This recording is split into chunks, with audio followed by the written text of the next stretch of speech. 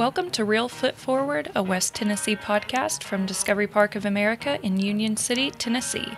Today's episode is brought to you by the West Tennessee Delta Heritage Center, home of the Tina Turner Museum.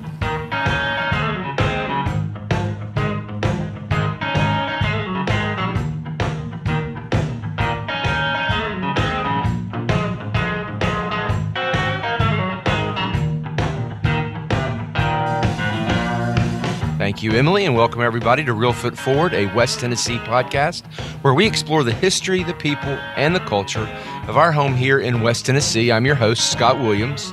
Emily, as usual, before I introduce today's very special guest, what is something you have discovered this week at Discovery Park of America? We've been researching and talking all about ag for our National Ag Day in our greenhouses. So I learned that the top three U.S. farm products are cattle, corn, and soybeans. That is um, very good. Thank you so much. A lot to discover on ag out in our Simmons Bank Ag Center, and looking forward uh, to the greenhouses that are coming. Um, today's guest is Merry Brown. Merry is a writer, speaker, mediator, and philosopher. And most recently, she is a workplace conflict restoration consultant. And we're gonna um, we're gonna discuss all about that. We're gonna probably hit on every single one of these um, before we get done. Welcome, Merry. Thank you so much for having me, Scott. I'm happy to be here. So before you know, before we get into uh, workplace conflict um, restoration, I want to find out what your your a philosophy uh, instructor has kind of been your uh, primary area of interest uh, to this point. Um, for for folks listening who don't really know, I, I know that if you Google what is a philosopher, because I was curious, so I looked it up. It says a person who seeks wisdom or enlightenment. And I thought, well, that's a great way to spend one's life. So, how do you define what it is that you do? As a philosopher, I think that's you know that's what i tell the students on the first day of class. I taught for 23 years and philosophy itself means the love of wisdom. And so a philosopher is somebody who wants to know what's true more than what they hope is what's true. So it's an investigation about what is real in the world what exists in the world how do we know what is real um, what is the good life? And of course that question we think about with philosophers what is the meaning of life or what brings meaning to life. And so, um, as a philosopher, you're investigating all of those things. Uh, philosophy itself is, you know, 2,500 years old, older than that. And so, um, professional philosophers have spent their life working on these different issues. Um, and today, a lot of philosophers are, are ethicists doing bioethics, doing um, questions about what does it mean to know um, a lot, lots of interest in philosophy of science, um, what is good, all these sorts of questions. Um, and another another part of a definition that I saw said a philosopher is a person who is rationally or sensibly calm, especially under trying circumstances. Um, so I cannot imagine any more trying circumstances than we've all been through together um, yeah. in the past uh, couple of years. Do you feel like uh, philosophy has been a tool that you've uh, utilized to get through the pandemic? I think so. Um, philosophy, the tool that the philosopher uses is the mind, right? So you think about the tool the scientist uses, or um, any any sort of discipline. And so what the philosopher uses is, you know, tries to employ critical thinking skills. So um, we try to distance ourselves from the idea or whatever's going on to be able to look at it from a variety of points of view. And um, it's a recognition that there are a variety of points of view, and we come to how we view the world in, a, in different sorts of ways. And so it's an investigation, and we put together arguments. Um, and so uh, my husband and I, who my husband's also a philosopher at UTM, and uh, whenever we say something, let's say about the pandemic or something else, we'll give an argument, and then the other person will either agree or attack one of the premises, or say, you know, uh, this is all friendly, uh, you know, questioning, well, why this, or why is that your evidence, or how did you come to that conclusion? So, I think it's helpful. Um, Um, I my my um, goal for this year was to try to be more present and less mm. distracted uh, in in both work and my private life. So I'm going to ask you some more questions about that in a few minutes. But first, I want to go all the way back to the beginning. Tell me a little bit about where you came from and what your childhood was like. Well, I came. I'm from Bakersfield, California, which is um, the the rural part of California. So when people think about California, they think about um, Southern California or Northern California. But actually, I came from um, Bakersfield, which is in the valley and is very agricultural. My parent, my dad was a pest control advisor um, for the majority of his career. And uh, so I grew up in what I thought was this little tiny town of Bakersfield, which is about half a million people. But you know, I was I, I grew up in the shadow of LA, and to me that was the big city. So I grew up um, in Bakersfield, and then I went to college at Azusa Pacific University, which is in Southern California, uh, by where the Rose Bowl is, um, Pasadena. Um, and I thought I wanted to be a psychologist. And then my uh, freshman year, first semester i had a philosophy course and it was like the heavens opened and you know when you find your people you find that thing that interests you i i realized i had always been that kind of person in other words i drove my parents crazy with questions uh, the huge questions about the nature of existence in the universe um, and then from um, from um, apu I, I ended up going to western kentucky university for my master's degree uh, where I met my husband. So now, when I think about when I think about um, Bakersfield, I think about music. Yes, the Bakersfield sound, and right. Uh, you know, I have this. I've never been there, but I have an image in my head of honky tonks everywhere, and, and sort of a Nashville version of in California. Is is it like that?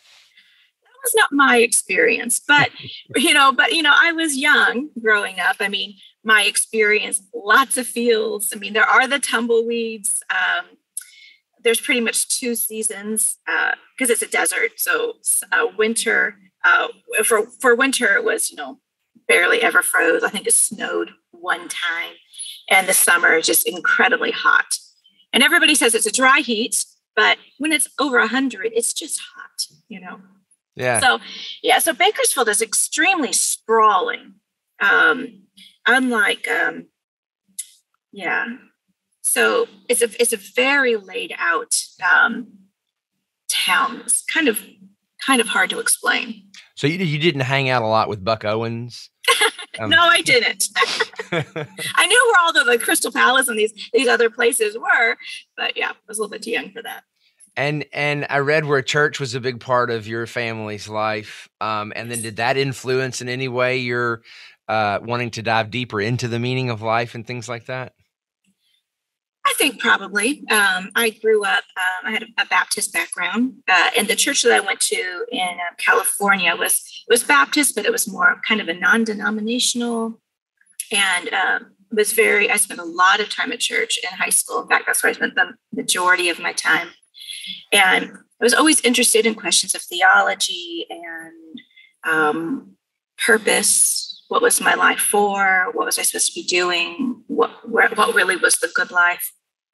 And um, though interestingly, when I um, decided to major in philosophy, I actually got quite a bit of blowback from people in my church because um, it can sound scary to people of faith um, because we're not quite so sure how faith and reason intersect. Where I see them Thomas Aquinas said that if you want to do good theology, you have to have your philosophy straight. He said that philosophy was the handmaiden um, to, to theology. And I think he's right because philosophy helps organize our thinking, um, gives us all the tools to whatever it is that we want to do, whether you're a religious or non religious person, um, it can really help help us structure our, our thinking. And so you're uh, teaching a subject to, you were teaching a subject to students um, who were in a transitional time of life, many of whom are, you know, having different problems for the very first time. So you really having having to not having to, but those who chose to take your class uh, probably found a lot of help in how they saw problems in in that phase of life. Is that correct? Well, I sure hope so. I don't know how many of you interviewed all the thousands of students that I have had. Um, philosophy is complicated, and um, I think it's difficult as a pretty young person to kind of understand, like, what the heck are they doing? What what is Socrates up to? He sounds like a, a mean bully, but to to really kind of understand the reason um, to um, make distinctions, the reason to think through, um, the reason to be able to distance ourselves from an idea.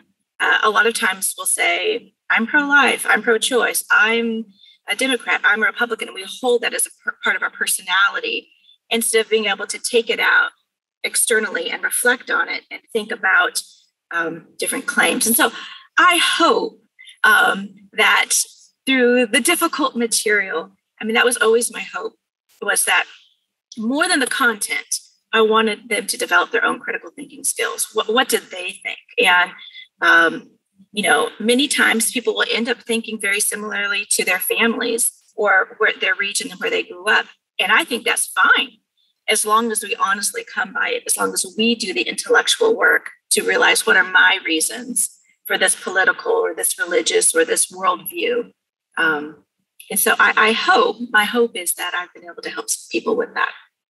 Do you feel like, do you feel like teaching philosophy and applying philosophy to everyone's lives is different in this particular era that we're in where politically you know people are so divisive and there there really is there really are areas where there it where people are just in direct conflict. Yes um when there's a certain level of hostility or um incivility it makes it people have their defenses up right? And so we talk about the cancel culture. People have their defenses up, and especially young people, because they don't, you know, they're in fear of being canceled. They're in fear of saying the wrong thing. Um, and and that's a, a stopper to uh, learning and growing and developing. And in general, the only real way to have a, an actual meaningful conversation is if you have trust the other person and you operate with the principle of charity. And the principle of charity says, I want the good for you. I want to us to grow and develop together instead of the gotcha society where you misspoke. And so now we're going to publicize it. You misspoke, and now we're going to grind you down for our political purposes. That does not encourage people to move forward. That is detrimental to a democracy if we don't give people the space to think and grow and develop. In fact, when people change their mind, we say they're wish washy. I mean, don't we want people to learn and grow and develop? Um, so I think it is hard because the the culture it, it's more like you've got to pick a side instead of why, why are there sides instead of ideas? Why not really learn and grow and engage? And so I, I think with it being so polarized, it's like we're told we have to choose. You know, which party do you belong to? What is what are your beliefs? And if you can't say that with like absolute certainty 100% on the bandwagon then there's something wrong with you. And people fear being out of community. They want to be in community. And so it, it shuts it shuts down growth. And so what what advice if you could counsel all of america what advice would you give us well, my, my main advice would be love your neighbor, right? And if we really think about what love means, love means I genuinely want the good for the other and, you know, love yourself as well. So I want the good for my neighbor and the good for myself. That means that I don't, it's not my job to make my neighbor believe something or think something or be something. It is my job to love my neighbor, to flourish, to try to work together. Um, and we just focus so much on our differences. And there are differences. I don't want to minimize that. But, you know, when you love somebody and you disagree with them, it's much easier to find a workaround to find mutually satisfying resolutions. But if you've already vilified the other person, why you want to quote unquote give in? Why you want to give them any leeway? Because you've probably told yourself if you give them anything, then they're gonna, you know, you've done some sort of slippery slope. You know, this will lead to this, will lead to that. But if we could really start seeing our fellow neighbor as fellow neighbors, as partners in our community, partners for our children and our grandparents, partners in how we treat the earth, how we treat resources, how we just treat one another, then we can, I think, stop um, this false dichotomy that we've fallen into that is us versus them, because that's not going to help us and it's not going to help them and then to to bring it closer to home you know a lot of those kind of things can be applied to our work lives and working yeah. with you know we spend more time at work than we spend at home um, and so at what point did you start to have a sliver of an idea that maybe what you're doing in the classroom might be able to be applicable to those of us in our jobs i think i've always thought that philosophy I always bristled at the idea that philosophy is just an ivory tower discipline, that you just have professional philosophers and they're doing this extremely complicated philosophy, and it doesn't make a world of difference, that it's just really something for the university. But when I've read and thought, and there's so many different kinds of philosophies out there, I always think it's very practical because it's, I think, interesting advice about, you know, how, how to live your life and, and things to think about, even if you don't agree, but why don't you agree? Anyway, I, I've always thought it was very practical and dealing with students and when people would major in philosophy uh, their poor parents would you know be so afraid like what can you do with this? What world real world application? And as i started thinking about that how would i advise my students as what you could do um, and thinking about my own life um, I, I, decided that in the summers um, I might try to do some mediation. And um, for, I don't know, maybe a decade ago, I started looking into that. But then more recently, I found Rule 31 mediation, which is in the state of Tennessee.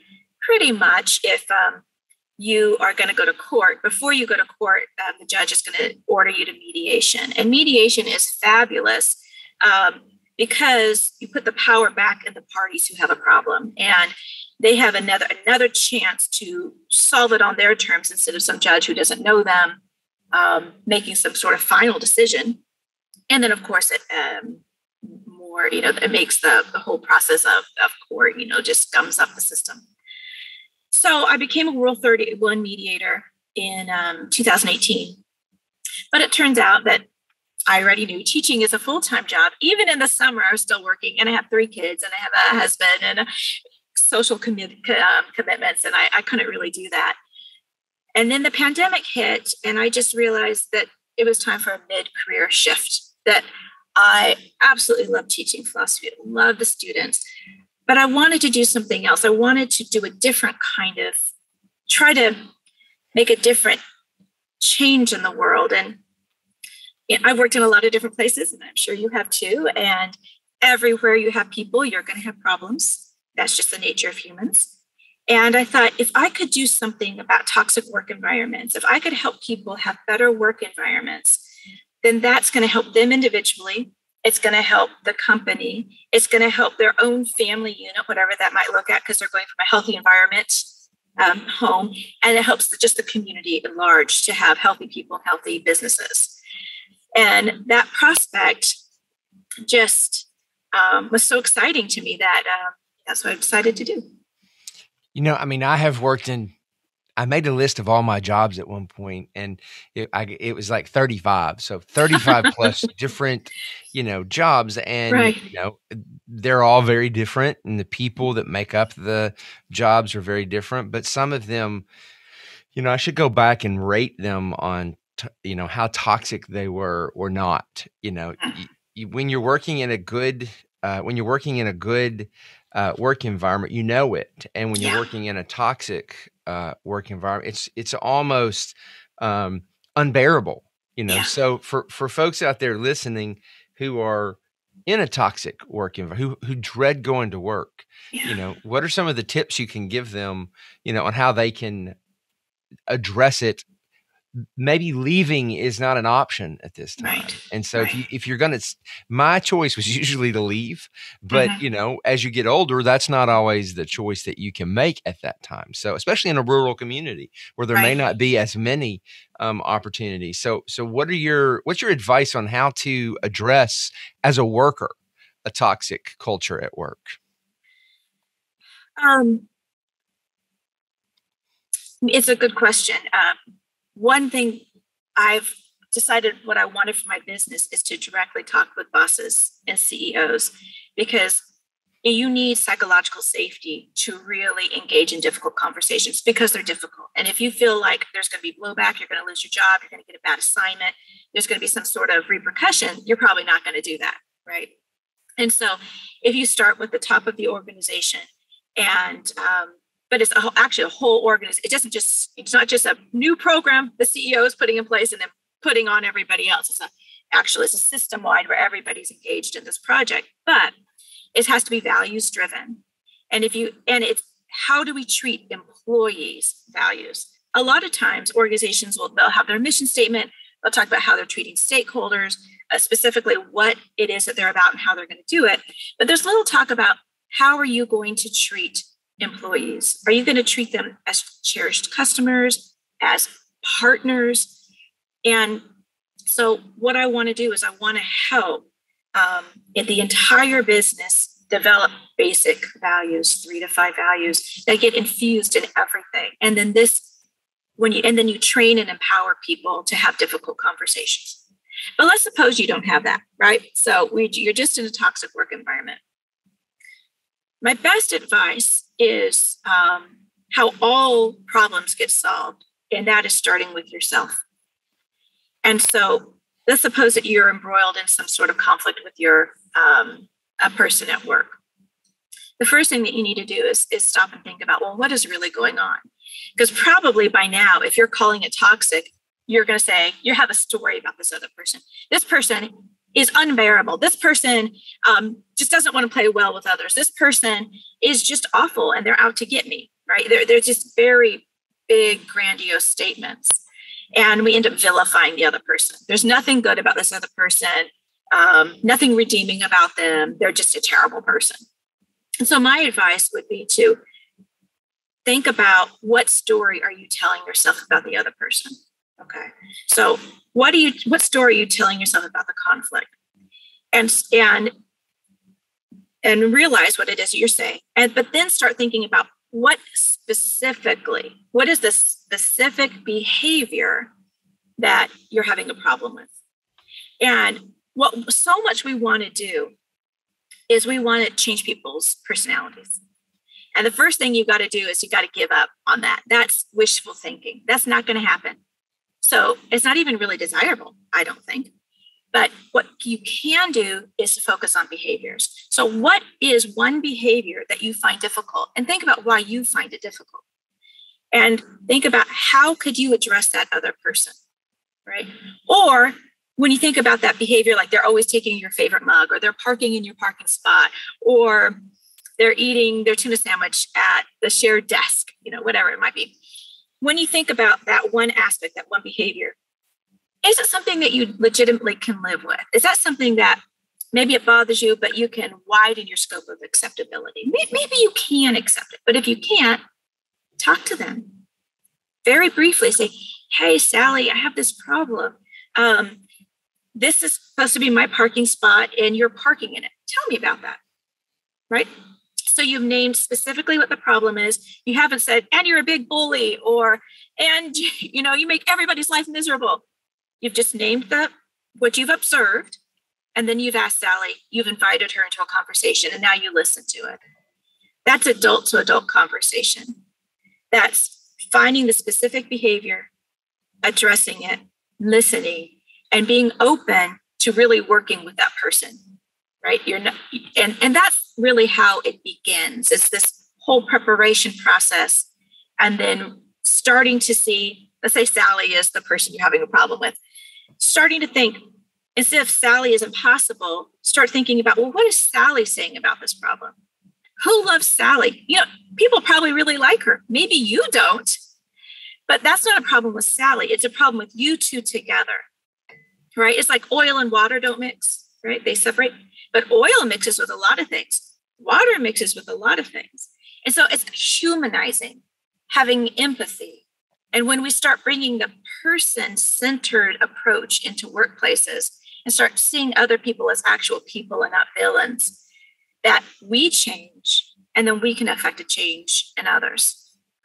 Do you think, you know, I've lived other places and I found that um, when I moved back to the South and started working, the culture of the South and people being polite mm-hmm. and nice and not using their words to express their feelings was in many ways a negative that that could lead to some negative uh, workplace uh, scenarios. Have you found any kind of regional impact that the South has?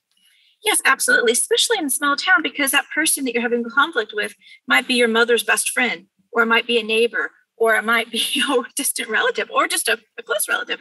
And so there's one reason we don't deal with conflict is because of the interconnectedness of relationships, but they get uh, even more tied up and fraught when you have smaller communities. And then you have um, the niceness of the South, which is um, is wonderful, and then also has uh, possible negative repercussions. Just like maybe the harshness of the East, it has um, positives but negatives. And so I think what it is is um, realizing that, you know, so how do you work within the culture that you're in right? Not you're not trying to change the culture. I don't even think that's a good idea um, because regionalism is wonderful. That's one thing that's great about this country is that it's sprawling and interesting. And so if you're in the south and you know that politeness is key great so how do you work within that but it is not nice to allow people to continue behaviors that are detrimental to you and to the company and to the community. That is not nice, right? Absolutely. And and do you see no matter what part of the country, do you see some of the things we talked about earlier now more than ever creeping into corporate culture, you know, like cancel culture and my rights and what, you know, I want to be heard, you know, I'm right, you're wrong. Do you see that um, creeping into corporate America. And as a CEO, I'm curious um, how you advise CEOs to make certain that the place that everybody's working at is the opposite of that. Right. Well, I, there's a lot of things I can say, but think about human resources, right? So someone decides they want to go into human resources, probably because they like humans and they want to help what are most human resources offices today? They're like the right arm of management, they're litigious. Um, and by the time a complaint gets to HR, it usually makes things worse. We have a win lose scenario instead of a win win scenario. Um, uh, and it really becomes us versus them. And so, in our society in general, we are just very litigious and we make company policies not for the good of the humans, but for to try to stave off lawsuits. And well, I'm saying, of course, it's good to stave off lawsuits, but one way we might do that is by humanizing HR, making it more like a people and culture organization where it is human focused. How do we treat each worker with dignity and respect? You know, the golden rule, and so to speak. But how do we do that? How do we personalize in an age where we are obsessed with um, uh, mechanization um, with um, all the different kind of digital measures that we can get when you hear the things about amazon warehouses where people are you know commodified and watched constantly in every little thing they do and they you know the conditions just don't sound very pleasant if you want a good human existence so does that mean we have to give up productivity i would say absolutely not when you treat your workers with dignity and respect, with autonomy, when you train them, when you empower them, when you get higher productivity, less unnecessary turnover, more buy in, greater ideas, um, loyalty. Right? But why would someone be loyal to you if you're not, if you don't know them? Right. And so empowering managers, line managers to have people skills to get to know the people they work for, to find out what their real concerns are, to find out where you can be flexible. Um, all of these, it's I think it's it reminds me of what happened with phones. You know, like um, phones used to be like cell phones used to be ginormous, and then they got smaller and got smaller and got smaller, and then they got so small that they our little finger, our big fingers wouldn't work so well, so they got to get they got bigger and bigger, right? And I think that's where we are right now, trying to find our way with technology, finding out where it works and how beneficial it is, but then sometimes where it's actually detrimental because we have to realize the overlay is it supposed to help us and help the humans, right? And if it's not, then we need to pull back and see where that that marriage is. And of course, we've got growing pains. Um, it's not one or the other. I think it's both and. I want to step back just a second and ask you there's a lot of folks listening who are working in one job but yet their heart lies somewhere else and they're thinking about making a midlife career change like you did uh, what was some of the thinking that went into that? You know, was it a little scary? Did you just close your eyes and jump? You know, uh, for those of for, for those out there thinking about that, what what are some of the things they should consider? Well, personally, it was very scary, and it, even though it happened in a way overnight, when I told my boss, um, David Coffey, who I worked for the history and philosophy department at UTM, um, that I wasn't going to be returning in the fall. Uh, you know, just happened. But it was about a four year process of realizing that um, I was becoming dissatisfied, that I, I wanted to do something else, um, that I started developing this other vision. Um, and then investigating okay, well, I'm committed to staying in West Tennessee. My um, my kids are here. My husband has a full time job at the university that he loves. I'm not going anywhere. So, what are the opportunities here? And so I started looking around and seeing this new vision I had for my life. So it was a long process, but once I decided to do it, it was very scary. Um, and when I left, I thought as soon as spring semester, this past spring semester was over, I would go right into Rule 31 mediation. But it, as luck would have it, I read this particular work by David Liddle, um, who owns a company in the UK, about workplace conflict management. And that was another light bulb moment for me when I'm like, oh no, this is what I want to do. And so it took a while for me to realize there wasn't a company around here that was doing what it is that I wanted to do and that I didn't want to work at one company. I wanted to go from company to company to try to make and train people since I'm I've spent over 20 years as an educator that that is something that I am good at. So going around and trying to encourage people and train them and going to the next place and then eventually came to the realization that I'm going to start my own company. And it was so exciting. I love being a small business owner um, and frightening. And uh, uh, yeah, it's both. It's both every day is a wonderful and difficult. And uh, yeah. Well, to transition from um, you know, my wife works works in universities, and so to transition from academia yeah into small business and for you big business as well because you're consulting it's night and day yeah. kind of cultures and worlds so it must be you know you must be learning something new every day i'm guessing. I am. I mean so academics talk a certain way and my entire professional life has been at a university. Um, besides like small part-time jobs i had. Um, and one thing that i guess i might say is embrace being awkward. So um, I've been going to ribbon cutting events and I've joined the Weakley County Chamber of Commerce and the Obion Chamber of Commerce, and I plan to join the Jackson one. Getting out in the community, uh, meeting people, and that's um, my life for the past 18 years has pretty much been on the third floor of the Humanities building in my office and teaching students and not going out to the community besides you know soccer games or tennis games, things like that. And um, but I know what it is that I want and I, I, have such a passion for helping people in their workplaces that it means I have to go out and do these other things, which I have found so enjoyable. I have just absolutely, I didn't know how much I was going to enjoy going to Obion County and, and, and listening to this person speak or, or meeting that person and getting to know more about my community has been fabulous and just the, the world of business. Um, but when it comes down to it, I might change language to talk to a different kind of clientele, but it's just dealing with people. And it doesn't matter where you are. I think embrace being awkward is such a valuable statement because we've all been in those moments where we feel like we're standing out. You know, we're doing something that nobody else, we're doing something that's different for us and that's challenging and a little bit scary. And just saying, you know what, I'm, I'm, and that's actually where you and I met was at a right. recent ribbon cutting ceremony. Um, and um, as I've told you, you know, I uh, met you and uh, you told me what you were doing, and we talked a little bit about that. And then, literally moments later, my daughter texted me and said she was really thinking about, you know, she's majoring in psychology and some other things, and she said she was interested in HR and and in workplace, you know, uh, psychology. And I was like, that's insane. And so I connected you two, and you went to coffee, and, and she really mm-hmm. loved getting to meet you and talk with you. So it is crazy putting yourself out there. I personally have found putting yourself out there and embracing being awkward pays off yeah. tenfold most of the time. Yeah. Every single time I've done something, I have met one person.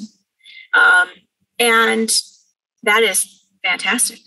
And it is amazing to me when I think before I started this journey, I had heard, well, what are the opportunities? There are no opportunities around here. This is a small town. I need to move to a big city. And I think one reason I didn't do this move sooner um, in careers because I believed that. And I mean, the stars aligned for me to leave when I did it, and I have absolutely loved my time at UTM. But um, opportunities, it just sounds so cliche, but the opportunities come because you make them in the sense of just putting yourself out there. Yeah, those opportunities were there because I wasn't there.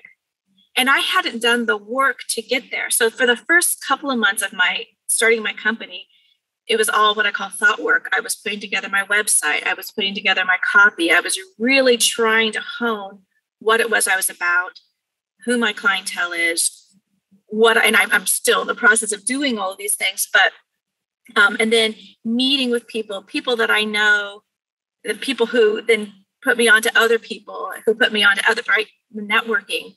Um, and it, it is about as you go out and you just try the new thing, now you have new things to try because you've opened up one area which opens up other areas. It's been it's been mind blowing. It's been amazing. Um, you, in addition to all this, you also wear another hat, that of an author.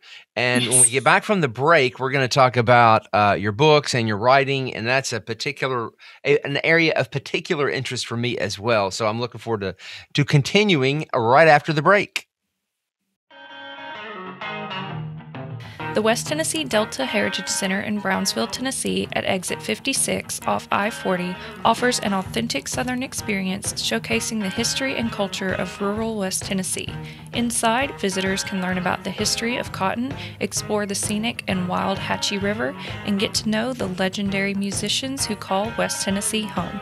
Also located on the grounds is Flagg Grove School, the childhood school of Tina Turner and the last home of blues pioneer Sleepy John Estes. To learn more about the center, visit westtnheritage.com. I hope you're enjoying the Reelfoot Forward podcast from Discovery Park of America. If you are, please be sure to subscribe, rate, and leave a positive review on iTunes, Spotify, or wherever you listen to podcasts. This is your host, Scott Williams, and our guest today is Merry Brown. Uh, we've been talking all about um, her new gig, uh, consulting with um, organizations and companies on uh, mediating a workplace conflict, but she's also in her quote unquote spare time, if you could call call it that, with three uh, uh, children. We'll find out how old they are. Um, but um, I'm curious about her writing, and I know that she gave the you gave the keynote speaker at the 2021 Young Writers Conference recently on why write. So uh, that's a good place. So tell us about your kids first, your children, and then tell us about why should why write. Well, I have three kids. Um, the oldest is 20, and I have an 18 year old and a 14 year old. And uh, I started writing when my oldest was maybe 10 or 11, and he started reading all these uh, young adult books. And I was interested in what he was reading. And um, because I'm a philosopher, I was a little disappointed with the metaphysics, so the background, the world building. And I thought, ah, and I had an idea, and I thought, I'll give it a try. So that's the how I got started writing, which I never thought I would write because I'm dyslexic. And so I just never thought that was for me. Um, no, d- dyslexia, you know, there's a wide spectrum of it. And for me, it just shows up um, the spelling and inverting of numbers. Um, so it's not severe, but it is enough where I thought, well, why would I want to torture myself uh, with writing? But um, since then, I've written eight books. That's great. Um, and so, did you um, do you self-publish, or did you start writing and then you tried to get someone else to publish, or what route did you particularly take? Well, when I wrote my first book, um, this is quite a, a, while ago now, and um, it was sort of um, the endish of vanity publishing, where you know you go with a publisher that you pay, and you get like a thousand books in your home or something. And the beginning of PO um, print on demand with Amazon, and then there's traditional publishing. And of course, I well, I tried the traditional publishing route first, and writing the query letter and um, sending it out to all these different people. And the query letter, which is a one-page summary of your book and you. Um, it's extremely difficult. And at this time, um, the book business, of course, started to shrink, and um, the where you could buy books, it just so much has been going on in the book industry that I decided I'm going to try to self-publish. So um, pretty much since then, I've sent out a few query letters, but um, not really. I like self-publishing. Uh, I do it through Amazon, through um, which was CreateSpace and whatever they're calling themselves now. And, and, and Ingram uh, Spark and yeah, um, yeah. No, I did. I did the same exact thing you did. Uh, you know, my first book was uh, published by a publisher and then i mm-hmm. went through that whole thing you know like i'm sure you took the same courses i did online and you know where you learn how to draft that particular sample and who to mail it to and i actually had some meetings with uh, book editors in new york to talk about some of my ideas and you know i just was turned off by the whole process talk about making yourself uh, in an uncomfortable situation. Um, you know, but through that process, I did learn about self publishing and about, you know, it just opened up a whole world for me as well. So, you know, I think that's really the wave of the future. You know, mm-hmm it it's unfortunate. I think the negative of self publishing is there are some uh, people who won't even consider covering your book in the news if it's not you know there's there's this machine out there um, that you know about that for, for in the book publishing world that has been slowly being dismantled for the last you know five to ten years. Um, yeah. So it remains to be seen. But um, so what what uh, did you find most rewarding about publishing your books? Well, um, is certainly the writing. Um, the writing is so much fun for me, and there's different ways to write. And so, um, the majority of books that I've written are um, young adult books. And some people, when they write, they have a whole outline and they have done all the creative work ahead of time, and then they sit and write. And that's not how I write. I had an idea, and I kind of had in mind a little bit of a story arc. Like I kind of thought maybe I knew who it was going to go. But for me, what I love so much about writing is the creative aspect, showing up and you think, oh, okay, this is what this character is going to do. And then be like, oh my goodness, I can't believe it. And this idea comes and you're typing furiously away to get, make sure that idea comes out and you're, and you're just shocked about this new development in this world that you're living in.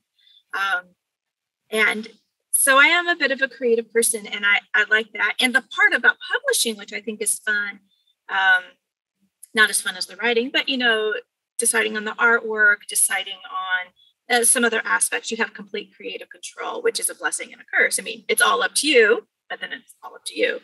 Um, so I, the whole creative aspect is definitely the best. I'm going to ask you about your book that just came out, but first I want to find out. It's interesting. Your your your children they are starting to get to the age where they're going to be going off to college um, and you're going to be sending them off to the to the the same way that you've been on the other side accepting students in and, right. and, and, teaching them um, how's that going has your oldest uh, gone off to college yes he's actually a junior at utm and okay. um, you know it's funny you say that but as soon as so, so when he was a senior in high school um, and I, at that point, had been at universities for almost 20 years. Looking at the university from a parent's perspective, so different. Um, you know, when you think you know the ins and outs, it's much different than a applying for housing, applying for this, uh, just seeing it from another perspective. Uh, my 18 um, year old, he's a senior at Westview, and he's going to go to University of Memphis next year. So, um, yeah, so looking at that, it, it feels so foreign. I think, why does this feel so foreign to me when I've been in this world? Um, but yeah, it's much different teaching than being on the other side. And then uh, your youngest, um, what grade is your youngest? He's in eighth grade. Okay, so you've got a while before yeah. you've got empty nest going on. That's right. Um, but I remember, you know, the first the first time I took my oldest daughter to college, I was just a wreck. You know, yeah. like I even I even cried, and I don't cry. And then when I took the the youngest one, I was just devastated. Yeah. Um, and then, but everybody kept telling me, "Don't worry, they come back." And that's absolutely the truth so for any parents out there listening who's who's in that stage you know it's not as bad as it feels like it is in the moment that you're in in fact my wife and i enjoyed empty nest so much that if we could have done it sooner we would have yeah. It's probably because teenagers are not always a piece of cake. Yeah, but. exactly, exactly. so um, it does it does all work out in the end. Um, but it is interesting. I'm sure um, I'm sure you take into consideration things that a lot of us um, a lot of us don't um, as an educator. Um, so tell me a little bit about your current book. Uh, it's it's mm-hmm. um, uh, obviously um, a topic that a lot of folks out there are having to deal with. The name of the book is "The Food Addict: Recovering from Binge Eating Disorder and Making Peace with Food." So tell us a little bit about that. So this book is about um, really what the title says. It's about food addiction and about a binge eating disorder. And um, so I yo-yo dieted for 25 years, and um, I would go on a diet, lose weight, uh, fall off the wagon, gain it back. Right, just a cycle since I was in high school, and then I eventually came across um, this diet that uh, I thought I was cured. I thought it was cured of my food issues. I had lost more weight than I had ever lost, and I just felt so free and so good. And I started a, a, local club called the Existential Eater Society, and I had a blog, and I was just all in. And then the same thing happened. I fell off the wagon, and I had given up sugar on this on this last diet. And um, when I fell off the diet, uh, I developed binge eating disorder. And binge eating disorder, there are three main eating disorders: anorexia, which most of us know about when you don't eat; bulimia is where you eat and throw up; binge eating disorder is the third one. And that's a kind of uncontrollable eating. And I kind of explain it this way it's like, which I have done, being in a stranger's driveway, not hungry, but having gone through a drive through and you're like shoving fries in your face while you're crying, you know, locking the door, eating food. Um, and not because you're hungry, but it's compulsive, right? You can't stop. So I developed a binge eating disorder and along with a clinical depression. And I was so mortified at my own behavior. I was so um, disappointed with myself. I had never experienced this before, and I hope to never again. The feeling of despair, of being so disappointed that I had done it because I thought I had conquered this lifelong demon, and I hadn't. And I just couldn't look at myself in the mirror. I couldn't get out of bed. And so, a process of therapy and um, antidepressants and I went on a spiritual retreat, reading. And about a year and a half later, I came out of it. And it's, I realized what put me in this, this state. Um, and it was this dieting. And so I said, okay, I'm never dieting again. And that became my mantra. I'm not on a diet. I can eat what I want. And as soon as I did that, food never longer, no longer held the same weight to me anymore because I legitimately believed I could go through any drive-through. I could eat anything I wanted. Um, and sometimes I would just to show myself, see, you're not on a diet. And I really started believing that. And I lived that way for six or seven years until uh, my metabolism changed and I was at a weight, as I call it my happy fat weight, which I was fine with. I could move just fine. My health was fine. Um, I'd given up on my dream of having this, you know, model body. And um, but then I started gaining weight and I didn't know what to do. And I, I talked to my doctor who knew about my eating disorder, and she recommended taking weight loss medicine. Well, I grew up in the 80s, and to me, that was like a no go. No, no, that's like speed, or that's, you know, that's not good for you. I'm not going to do that. But I considered it. And I started taking weight loss medicine. But I told myself, I'm, well, I'm not going to diet. And so I thought, well, maybe I could thread this needle of taking the medicine, but not changing what I ate. And it was hard for the first three months because my brain um, kept on saying, You're losing this opportunity. If you just restricted your food, you could lose more weight. Um, but I was able to push through. And that's why I decided to write this book. I decided to write this book because through this process, I realized that I really am a food addict. It doesn't go away. Like an alcoholic who um, can be a recovering alcoholic, but they're always an alcoholic. That's how I think of myself as a food addict, it's a condition has to be managed. Right. So when I have crazy thoughts about food or feelings, I'm no longer surprised by them, but I have a plan of how to deal with it. And I wanted to tell my story because the mantra I've told myself, and I think our culture says, is that the problem is you're overweight uh, because you eat too much. So stop eating so much. Problem solved. Right? And so it makes it a moral problem. The problem is lack of self control. I lack self control. I eat too much. I shouldn't eat so much. I need more control. Right? And so it's this, this control issue. And I came to realize that's not it. First of all, that's not the problem. The problem is not that I'm eating so much. I always thought the, the problem was external, the food. The problem is in my mind. And so I had to start thinking, taking my mental health seriously. And uh, once I realized that the whole way our culture has set up about eating issues, especially if you're overweight, is just wrong. And what we need to do is empower people with giving them their specific tools for them to deal with their issues. And I think medicine, for some people, that's one of the tools. Talk therapy. Um, there's just a variety. Speaking with a dietitian, um, journaling. There's so there's so many different avenues out there, but we don't tell people. We say it's about dieting. It's about restricting and self control. And I just think that's a losing way. And the obesity epidemic is so devastating on the individual, on the healthcare system, uh, just personal happiness that we need to do something different. So we need to stop shaming people and telling them that they're morally broken, instead offer a variety of help. And that's what my I decided to write this book um, was to try to show people that there are different ways um, that they can approach their problem. And I also wrote this book um, for people who don't understand eating issues. Right? Are people who just really don't understand what's the problem. Stop eating so much. And so I tried to include, and I was as honest as I could be. I cried all summer long when I, when I read it because it's really painful.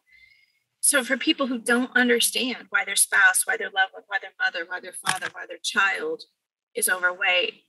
Now, not everybody has my issues, but it's one person's perspective um, that I hope to shed some light and further the conversation so we can actually make progress on a really difficult and important topic.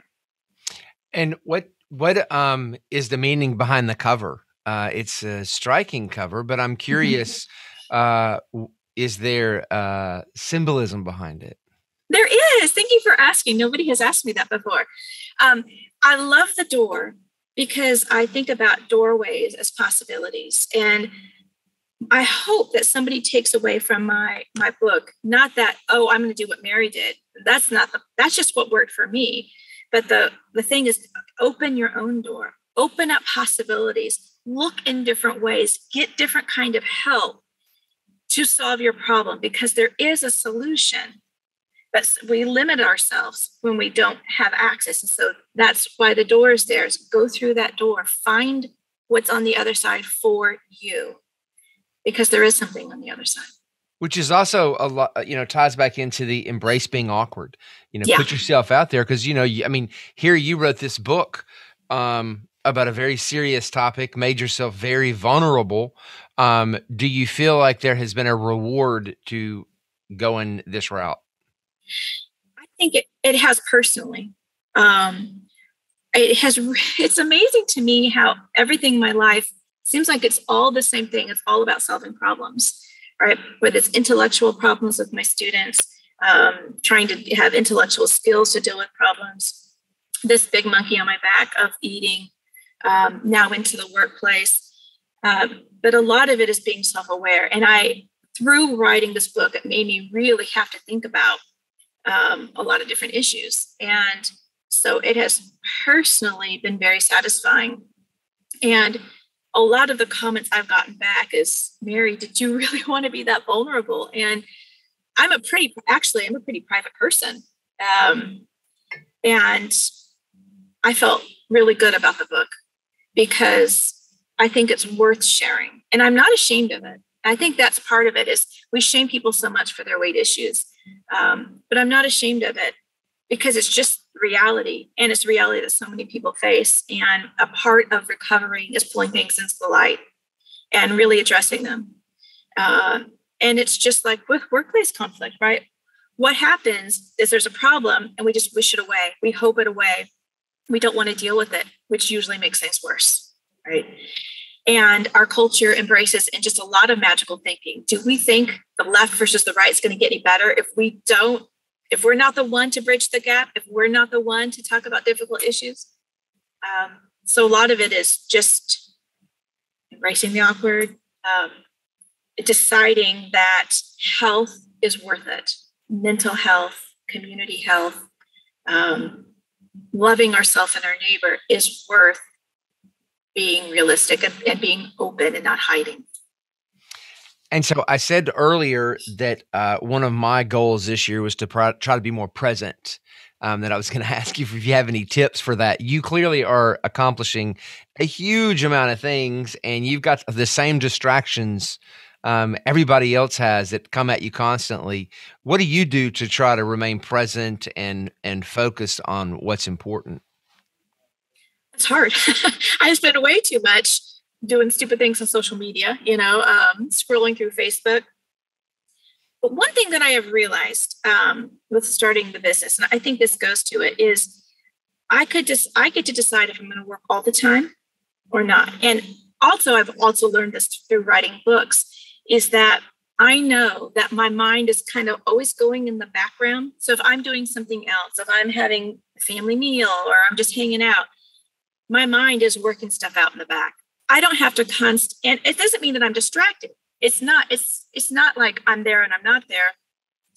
I think if you just sort of are in a creative process, it's always with you and you learn how to kind of push it to the background so that when you come to sit down and write uh, or you're producing something for a meeting you have um, you've given yourself a break like you really have given yourself a break and now you're sort of ready to go back into it. Um, I don't know if that makes sense, but breaks, even scrolling through social media, I've come to realize if I don't do too much, it's a good distraction. It's a good time down. It's a good unwinding.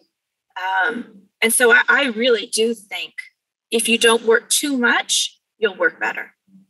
If you give yourself time thank you so much for uh, taking some time out and talking to us today. If if uh, either your book or your the work you're doing uh, for corporations, if any of that is of interest to any of our listeners, where can they find you? Uh, you can go to my website. So um, it's 3p conflictrestoration.com. The name of my company is Third Party Workplace um, Restoration Services. Um, so you can go to my website and find me there, and um, be happy to talk with you. And thank you to all you listeners who've joined Merry, Emily, and Luke and me today at Discovery Park of America. Our mission here is to inspire children and adults to see beyond. To plan an experience here for you and your family, visit discoveryparkofamerica.com.